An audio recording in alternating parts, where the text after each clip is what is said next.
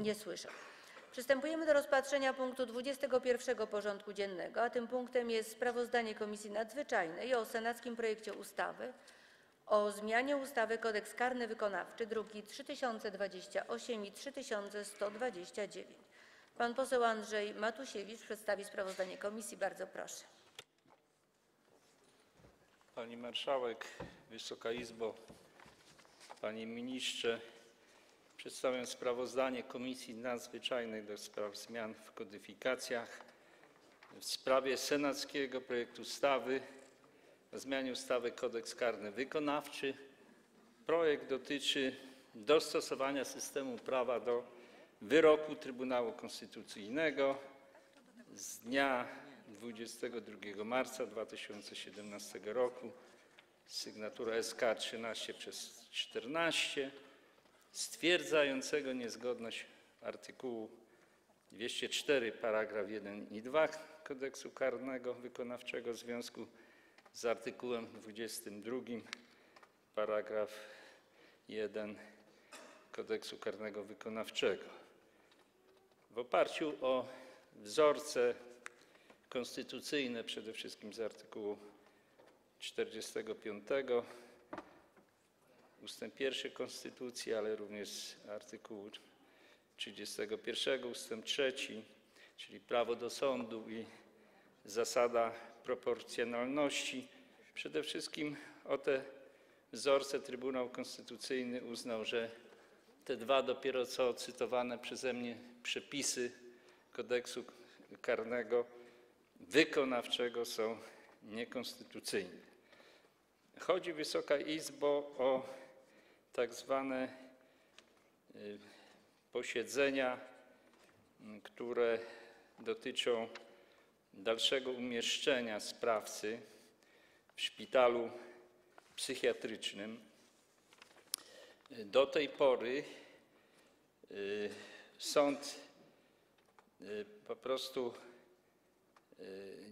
nie miał obowiązku zawiadamiania sprawcy, ale również nie miał obowiązku sprowadzania sprawcy na takie posiedzenie.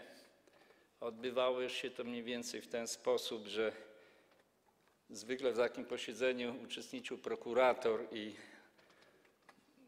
obrońca z urzędu, była kolejna opinia dwóch biegłych psychiatrów, czy rzeczywiście dalszy pobyt sprawcy przy zastosowaniu tego środka zabezpieczającego jest pożądany, czy też nie.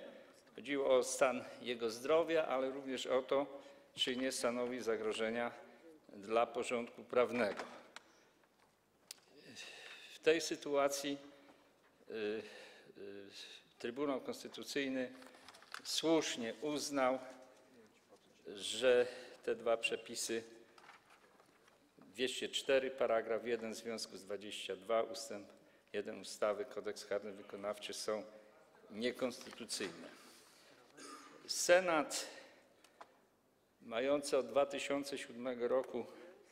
inicjatywę tzw. powyrokową wykonywania wyroków Trybunału Konstytucyjnego rozpoczął to postępowanie jeszcze w lutym 2018 r. Były oczywiście opinie zainteresowanych podmiotów: Krajowej Rady Sądownictwa i Prokuratorii Generalnej, były to opinie pozytywne, w zasadzie też rzecznika praw obywatelskich, tylko rzecznik praw obywatelskich proponował, żeby te posiedzenia były w szpitalach psychiatrycznych. Może kilka takich faktów statystycznych jeszcze przypomnę dla wyobrażenia o skali problemu. Na koniec roku 2017 według informacji Ministerstwa Sprawiedliwości takich sprawców, których dotyczyło to postępowanie, było 1092 osoby. W roku 2016 544. No nie mamy, przynajmniej ja nie mam informacji, może już są dane za rok 2018, to, to pan minister Marcin Warchoł przedstawi. W Polsce mamy 54 zakłady psychiatryczne przeznaczone do wykonywania środka zabezpieczającego, w tym 34 z tych zakładów to są zakłady w warunkach podstawowego zabezpieczenia, 17 w warunkach wzmocnionego zabezpieczenia i 3 w warunkach maksymalnego zabezpieczenia. W pierwszym czytaniu w Senacie rozpatrywano również pewne wnioski, postulaty ze strony Ministerstwa Sprawiedliwości.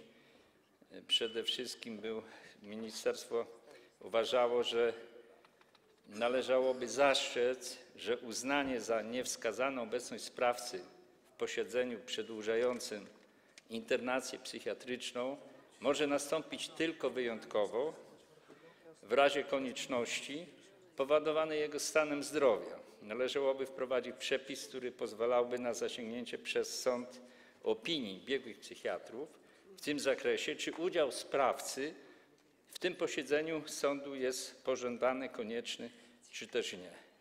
No w grę wchodzą oczywiście też koszty transportu sprawcy na takie posiedzenia, więc tutaj są pewne odległości wyliczone średnio, jakie, jakie są, jeżeli chodzi o sądy rejonowe, to jest transport przeciętny 15 km, to jest do jednej godziny dojazd do sądów okręgowych 50 km, czyli no, to oczywiście są koszty transportu. I teraz pytanie, kto te koszty ponosi? Otóż te koszty ponosi kierownik zakładu psychiatrycznego. Senat w pierwszym czytaniu uwzględnił te uwagi ministra sprawiedliwości i je przyjął. Później były jeszcze posiedzenia senackich Komisji Ustawodawczej i Komisji Praw Człowieka i Praworządności w dniach 15 czerwca i 19 września 2018 roku. Dodano tam jeszcze przepis, jaki sąd jest właściwy, ustalając, że jest właściwy sąd w okręgu, którego sprawca przebywa, będący sądem tego samego urzędu, co sąd, który wydał orzeczenie w pierwszej instancji. Czyli jeżeli w pierwszej instancji wydał orzeczenie sąd rejonowy, to jest właściwy również do tego postępowania dalszego w zakresie przedłużenia umieszczenia w szpitalu psychiatrycznym. Również wprowadzono do tego projektu uwagi ministra sprawiedliwości dotyczące, oprócz tego, że to powinny być oczywiście opinie psychiatryczne, gdzie stany zdrowia sprawcy i postępy w leczeniu są atrybutem niezbędnym do, wykazania, czy rzeczywiście dalszy pobyt jest konieczny, czy ewentualnie nie, ale również wprowadzono tutaj taki zapis, żeby biegli wypowiedzieli się, czy, ta, czy stan zdrowia sprawcy pozwala na udział w tym posiedzeniu. To oczywiście zależy od pewnych ograniczeń z tych sprawców psychiatrycznych czy, też intelektualnych. I Senat przyjął ten projekt na posiedzeniu w dniu 26 października 2018 roku. 30 października wpłynął ten projekt do Sejmu i został skierowany do pierwszego czytania na, posiedzeniu plenarnym. To Później y, w wyniku tego skierowano do komisji właściwej, czyli Komisji Nadzwyczajnej do zmian w klasyfikacjach, przepraszam, w kodyfikacjach. To było 7 grudnia 2018 roku i komisja zajęła się tym problemem na posiedzeniu w dniu 17 stycznia. Y, No, przedstawiciel Senatu upoważniony, no niestety nie brał udziału w tym posiedzeniu, jak również w dniu dzisiejszym nie widzę przedstawiciela Senatu, pana senatora Rafała Ambrozika.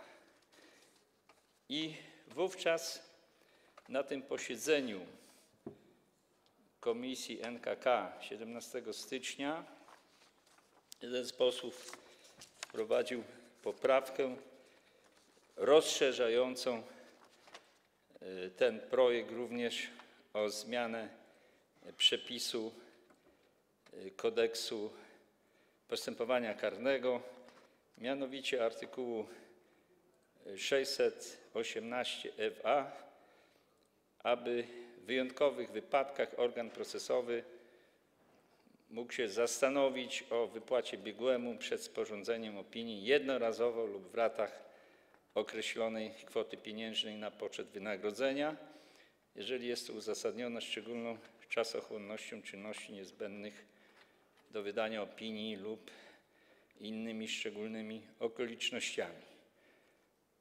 Na to postanowienie y, przysługiwało zażalenie, y, przepraszam, nie przysługiwało zażalenie w przedmiocie wypłaty tego, tej jak gdyby zaliczki na, na poczet wynagrodzenia i mimo uwag y, Biura Legislacyjnego, że to narusza zasadę poprawnej legislacji, gdyż na tym etapie postępowania już po pierwszym czytaniu no, co innego było przedmiotem tej inicjatywy powyrokowej Senatu, a jeszcze wprowadza się dodatkowy przepis y, z kodeksu postępowania karnego.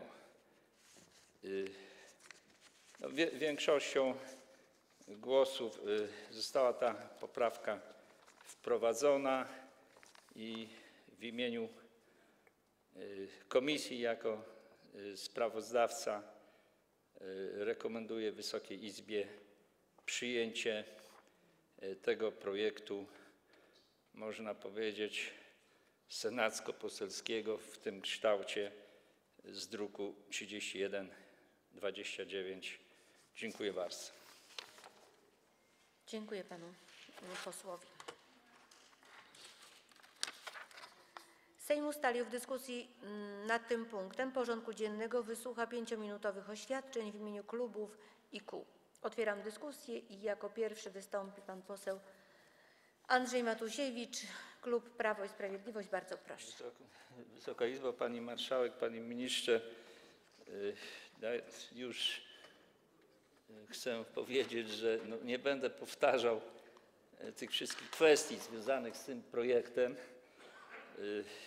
których y, szczegółowo mówiłem y, w sprawozdaniu. Y, Klub Prawa i Sprawiedliwości popiera ten projekt, jednak chcę jeszcze wprowadzić pewną poprawkę do tego projektu. Mianowicie chodzi o to, aby usunąć z niego paragraf drugi, ten, który mówi o tym, y, że nie ma postanowienia w przedmiocie wypłaty na poczet wynagrodzenia zażalenia nie przysługuje. Y, Poprawka usuwa jako niepoprawny ten zapis. Z jednej strony powielał on bowiem możliwości y, składowe postanowienia o zaliczce, powtarzając za paragrafem pierwszym, że zaliczka może być przyznana w ratach i określonym terminie, co jednak wynika z istoty rat. Jednocześnie w paragrafie drugim mógł być interpretowany jako częściowo sprzeczny z paragrafem pierwszym, gdyż literalnie wskazywał, że stosując paragraf pierwszy, organ może jedynie zdecydować o ratalnej sposobie przyznania zaliczki jako kwoty oraz określenia w ilu ratach. Jednocześnie poprawka koryguje treść paragrafu trzeciego, wskazując, że zażalenie nie przysługuje ani na postanowienie pozytywne co do zaliczki, ani na postanowienie negatywne w tym zakresie.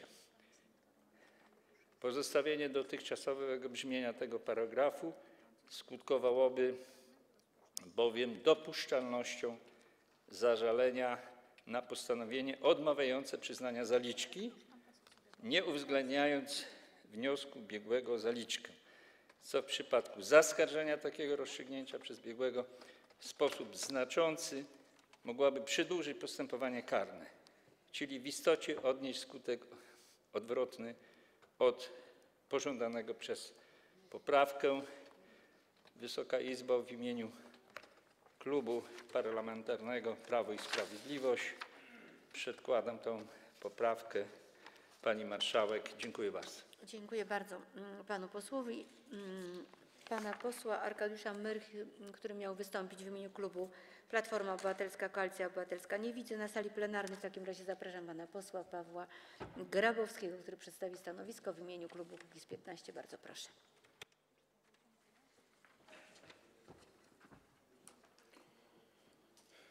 Dziękuję Pani Marszałek, Panie lub Pani Minister.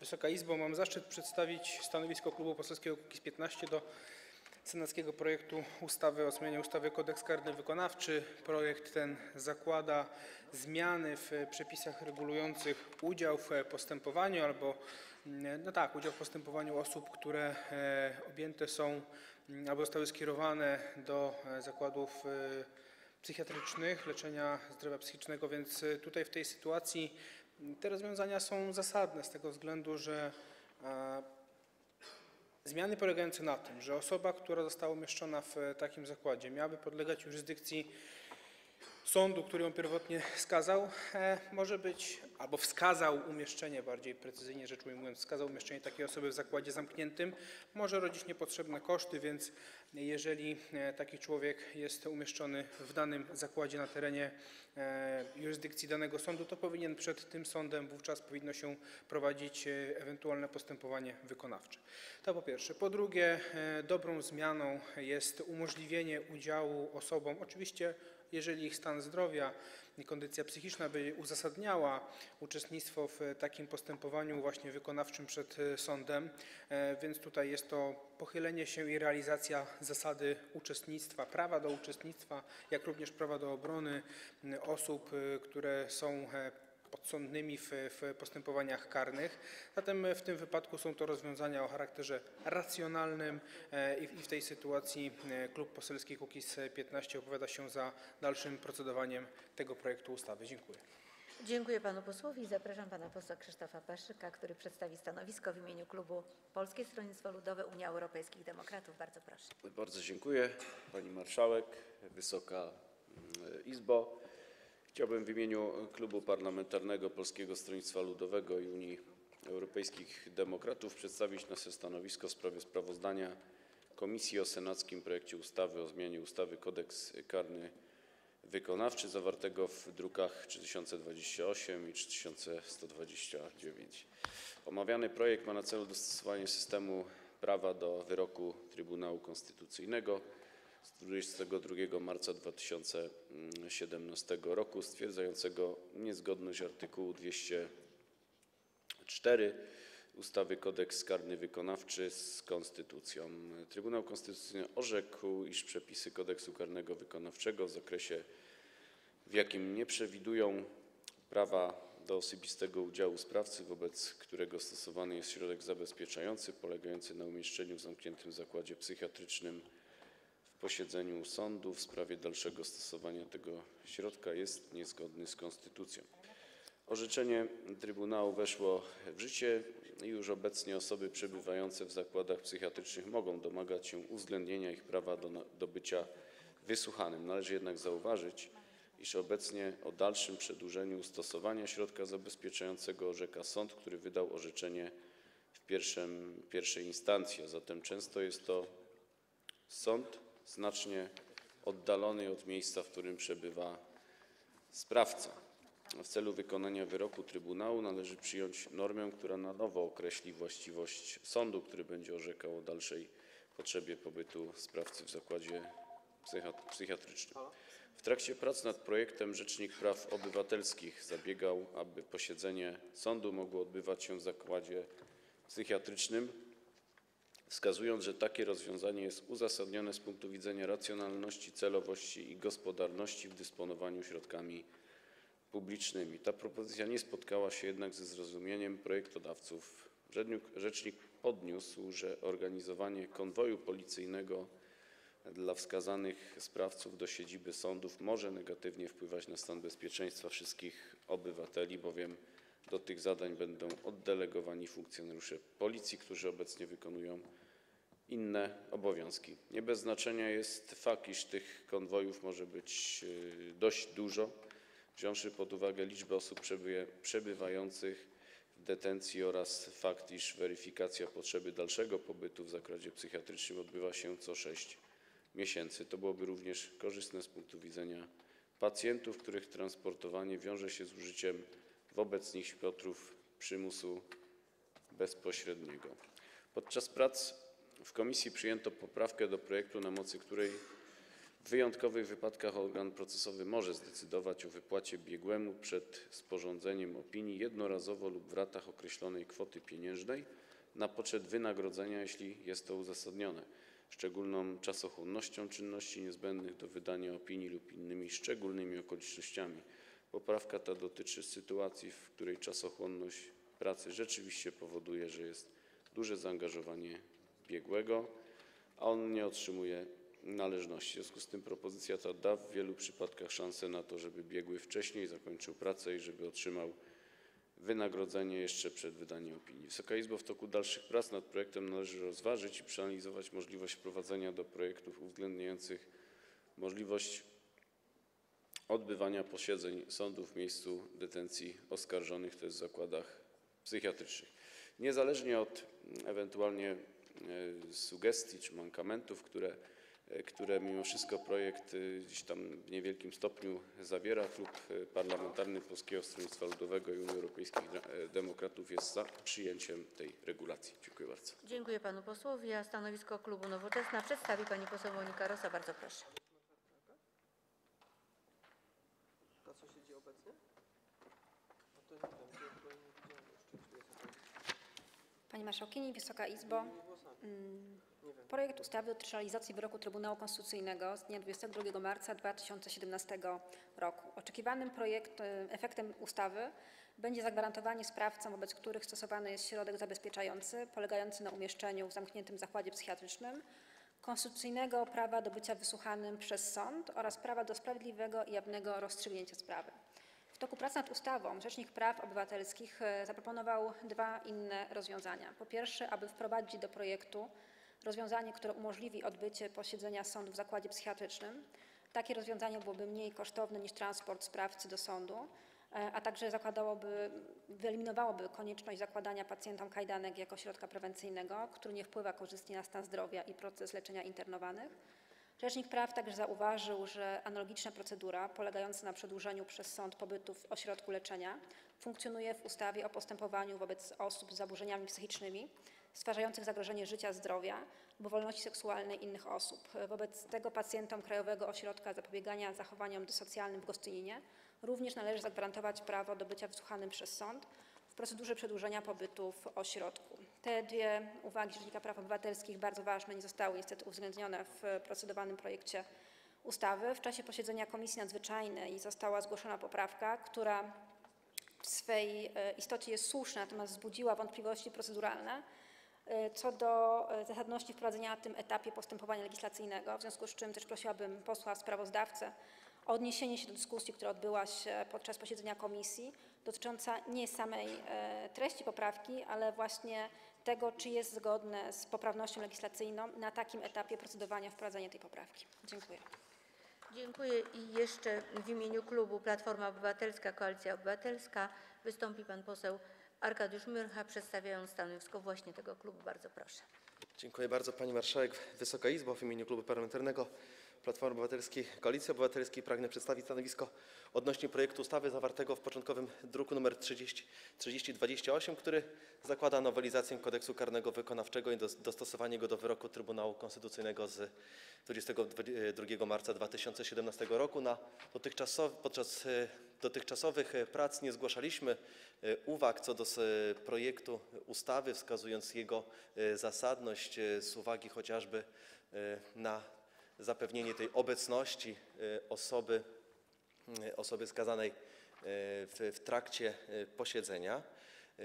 Zgłosimy jeszcze do tego druku trzy poprawki, natomiast chciałbym poruszyć kwestię, która dość mocno w naszej ocenie zaburzyła ten skądinąd, tak jak wspomniałem, dobry projekt, który zyskiwał poparcie wszystkich sił politycznych, co stanowi mimo wszystko rzadkość w, w, parlamencie, a mianowicie podczas e, pracy w komisji została przedłożona e, duża regulacja objęta artykułem drugim e, tego, tego projektu, która tak naprawdę w swoim przedmiocie regulacji nie mieści się w żaden sposób w jego pierwotnym przedłożeniu i co gorsza nie mieści się w wyroku Trybunału Konstytucyjnego z marca 2017 roku.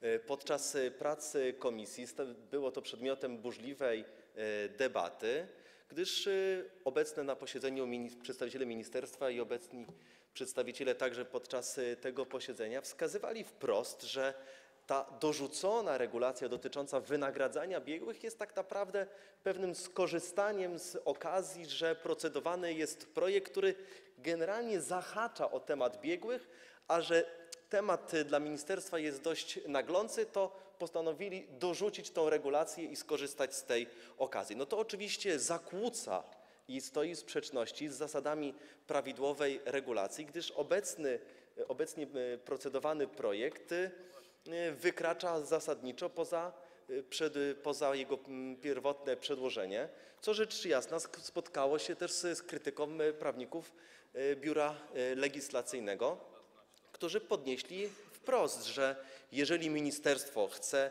w tak dużym zakresie przedłożyć nową regulację, to musi się to e, odbyć według nowego projektu e, ustawy. I mówię to z dużym e, żalem, że projekt, tak jak wspomniałem, który nie budził jakichkolwiek e, wątpliwości co do jego e, zasadności, co do jego e, sposobu postępowania, nagle został dość mocno obarczony wadą legislacyjną. W związku z tym przedkładamy trzy poprawki. Jedna natury legislacyjnej, druga wychodząca naprzeciw tym zastrzeżeniom, które były już wspomniane przez moich przedmówców i podnoszona przez Rzecznika Praw Obywatelskich, a mianowicie, aby e, posiedzenia z udziałem sprawcy mogły odbywać się w, zakładzie psychiatrycznym. No i wnosimy także poprawkę o wykreśleniu z projektu ustawy artykułu drugiego z tym uzasadnieniem, jak wskazałem, że ono powinno stanowić przedmiot odrębnej regulacji. Dziękuję bardzo. Dziękuję panu posłowi. Mm, I przystępujemy teraz do pytań. Czy ktoś z pań posłanek i posłów chce wpisać się jeszcze na listę? Nie słyszę. Zamykam więc tą listę i rozpoczynamy zadawanie pytań w tym punkcie od pana posła Piotra Pyzika, Prawo i Sprawiedliwość. Czas jedna minuta. Bardzo proszę.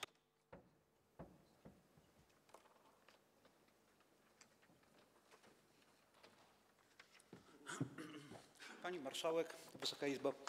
Problem y, jest y, nie tylko natury prawnej. Przy okazji kwestii osób skazanych umieszczonych w izolowanym leczeniu psychiatrycznym trzeba przypomnieć o osobach umieszczonych na tzw. obserwacji w ramach postępowań przed sądem. Niektórzy z nich spędzili w zamkniętych zakładach kilka, kilkanaście lat bez wyroku w ramach przedłuż- przedłużonej w nieskończoność obserwacji. Przykład medialny zaczerpnięty ze źródeł mm, prasowych. Pan Felix Meszka, 11 lat w Rybniku. Dziś nieżyjący pan Krystian Brol, 8 lat, też w Rybniku. Nie doczekał odszkodowania swoją drogą. E, może gdyby Wysoki Sąd miał okazję widzieć ich, kiedy kopiował co pół roku, e, słowo w słowo uzasadnienie przedłużenia obserwacji, kogoś ruszyłoby na przykład sumienie. Dziękuję uprzejmie. Pani poseł Małgorzata Pępek, Platforma Obywatelska, Koalicja Obywatelska zada kolejne pytanie. Bardzo proszę. Pani Marszałek, Wysoka Izbo, y, poprzez tę ustawę dostosowujemy system prawa do wyroku Trybunału Konstytu- Konstytucyjnego Tylko pytam się, dlaczego tak późno? Wyrok Trybunału Konstytucyjnego zapadł 22 marca 2017 roku, a teraz mamy luty 2019. Y, Takie dosyć duże opóźnienie. Dobrze, że dzięki tej ustawie poszerza się zakres uprawnień osoby skazanej do rzetelnego procesu. Niemniej jednak ważne jest, y, ważne byłoby wziąć pod uwagę, aby posiedzenie sądu odbywało się w zakładach psychiatrycznych. Na pewno zdecydowanie będzie to y, mniej kosztowne. Y, Czy jeszcze mam takie pytanie, czy w dalszym procedowaniu tej ustawy wykreślony zostanie artykuł 2?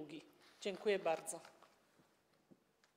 Dziękuję bardzo i kolejne pytanie zada pan poseł Paweł Grabowski, klub Kukiz’15. Bardzo proszę.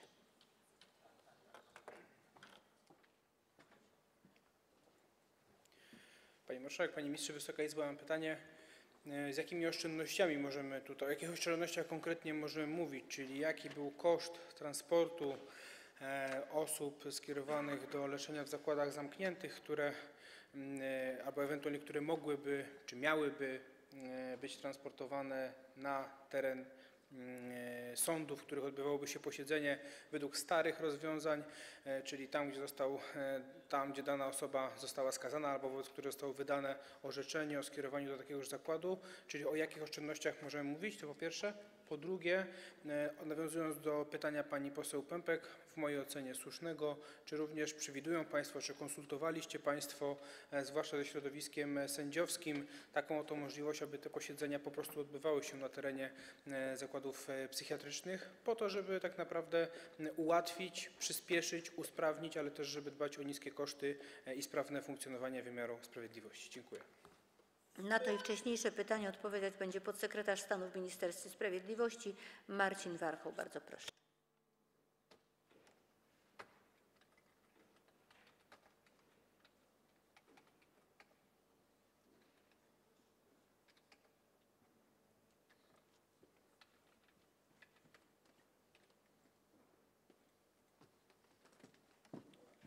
Pani Marszałek, Wysoka Izbo. Bardzo dziękuję za wszystkie pytania.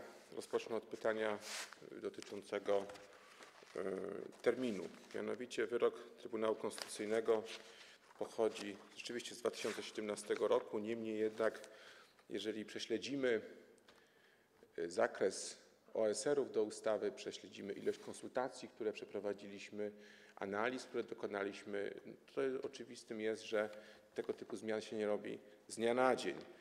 Trzeba było sprawdzić przede wszystkim liczbę sprawców, wobec których środek zabezpieczający w postaci pobytu w zakładzie psychiatrycznym podlega wykonaniu. Dysponujemy takimi danymi.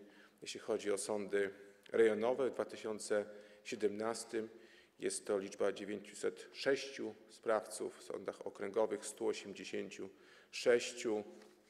Również trzeba było skonsultować projekt e, ze służbą więzienną, z policją, z całym szeregiem służb, które biorą udział e, w dowożeniu, w organizacji całej infrastruktury związanej e, z przewożeniem sprawcy do, na posiedzenie sądu i liczby, o które Państwo pytaliście.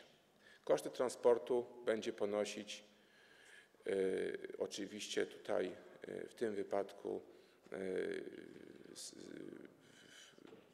wynoszą, będą one wynosić 540 tysięcy złotych rocznie. Nie doliczono tutaj kosztów policji, które według danych będą y, niewielkie. Każdy sprawca do sądu będzie dowożony dwa razy w roku, co powoduje kwotę około 4368 zł. 80 83% posiedzeń odbędzie się w sądzie rejonowym, a 17% w sądzie okręgowym. Średni przejazd między zakładem karnym a sądem rejonowym to jest 15 km. Między zakładem a sądem okręgowym około 50 km i tutaj około 2 godzin trwa transport. Koszt transportu to 150 zł za każdą rozpoczętą godzinę i 3,5 zł za każdy kilometr. Czyli te wyliczenia, Szanowni Państwo, musieliśmy skądś zdobyć. W związku z tym trwało to, nie sądzę, że długo, y, połowy 2017 roku do dnia dzisiejszego. Nie jest to y, w stosunku do wielu innych wyroków, które są wykonywane, jakiś y, strasznie długi okres. E, I y, wydaje się, że to są odpowiedzi na wszystkie wątpliwości. Do pana posła Myrchy, tutaj pan poseł pytał o zaliczkę na poczet biegłych. Bieg- Biegli pełnią tutaj kluczową rolę, nie tylko tutaj zresztą, ale i w szeregu innych procesów, w których dochodzi do opiniowania o stanie zdrowia psychicznego. Oceniają oni poczytalność sprawcy chwili czynu, chwili postępowania. Opinie biegłych mają ogromny wpływ na ostateczny wynik postępowania, na szybkość procesu i na trafność decyzji podejmowanych przez sąd. E, W związku z tym, panie pośle, ci biegli potrzebują też pewnego motywatora, a nie ma lepszego motywatora niż właśnie zaliczka na poczet tego wynagrodzenia. Dlatego też tymczasem ta ustawa właśnie ma na celu zapewnienie zarówno udziału tego y, sprawcy w tego typu posiedzeniu.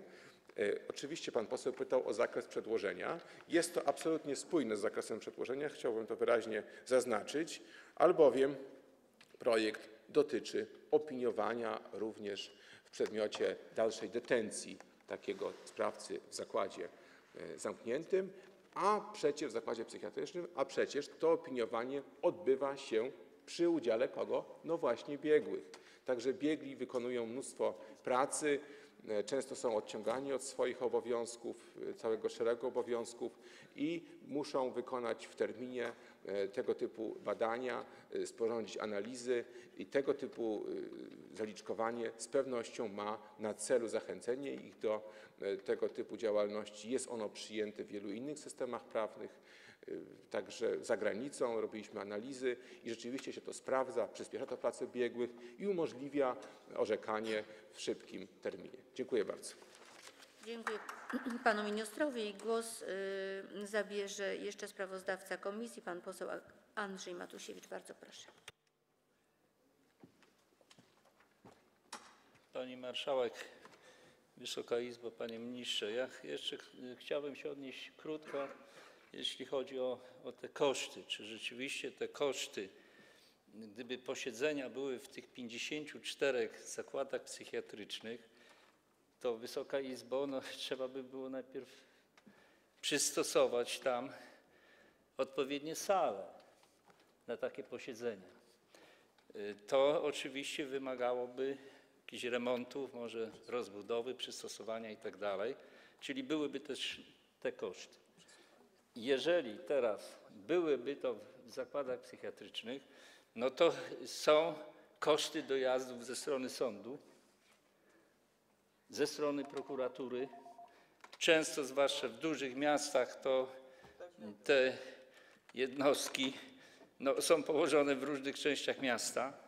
I jak przedstawiałem w sprawozdaniu, to jeżeli chodzi o sądy rejonowe, to średni koszt taki, y, średnia odległość, przepraszam, to jest 15 km, jeżeli chodzi o sądy rejonowe, a jeżeli chodzi o sądy okręgowe, to jest 50 km.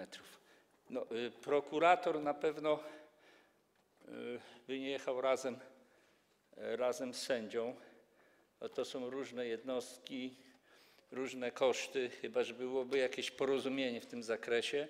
Także to trzeba, może to, to jest postulat do spełnienia, ale nie na tym etapie, bo trzeba by było najpierw policzyć koszty przystosowania tych sal do no, odpowiednich warunków. W 54 zakładach psychiatrycznych. Dziękuję bardzo. Dziękuję. I w, mm, w formule sprostowania pan poseł Arkadiusz Myrcha. Bardzo proszę, czas jedna minuta. Dziękuję bardzo. E, Panie ministrze, ja mam wrażenie, że pan źle zrozumiał e, moją uwagę i moją intencję i mam nadzieję, że to nie miał pan e, złych intencji. Ja, ja nie kwestionowałem zasadności wynagradzania dobrego bądź szybkiego biegłych, ja tylko wskazałem, że całość regulacji objęta artykułem drugim skądinąd, y, abstrahując od y, merytoryki, powinna stanowić przedmiot odrębnej regulacji. To nawet wskazywali prawnicy Biura Legislacyjnego, że pierwotne przedłożenie y, dotyczy tak naprawdę statusu sprawcy i sposobu przeprowadzenia, y, y, przeprowadzenia y, badania i jakby na tym koncentruje się orzeczenie Trybunału, a nie o kwestiach wynagradzania biegłych, wysokości, ok- y, czasu ich y, wynagradzania, to jest wątek zupełnie poboczny i sam fakt, że w jakikolwiek nawet drobnym zakresie pie- przedłożenie pierwotne dotyczy biegłego po prostu jako osoby, która ma sporządzić opinię, to nie oznacza, że możemy do tego dorzucać wszystko, co jest związane z biegłymi i tak naprawdę dorzucać regulacje, które nie ma z tym nic wspólnego. I w tym zakresie to kwestionowałem, wskazuję, że to po prostu powinny być dwa odrębne przedmioty regulacji. Dziękuję bardzo. Dziękuję panu posłowi. Zamykam dyskusję. W związku z tym, że w czasie drugiego czytania zgłoszono do przedłożonego projektu ustawy poprawki, na podstawie artykułu 95 ust.